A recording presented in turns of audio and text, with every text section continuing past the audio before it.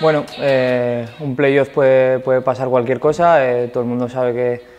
que son partidos eh, muy complicados, pero lo importante es que veo al equipo mentalizado, con ganas de, de, hacer algo bonito este año, como ya dije en otras ocasiones, y vamos a ir a por ello. Bueno, Asier es, es un hombre de experiencia que, que sabe, sabe gestionar estos momentos muy bien y, y yo creo que, que, nos está llevando por, por, el camino correcto. Simplemente las gracias por, por los premios que, que, me han dado durante la temporada y sobre todo por, por el apoyo que, que siempre me he recibido desde el primer momento que, llegué.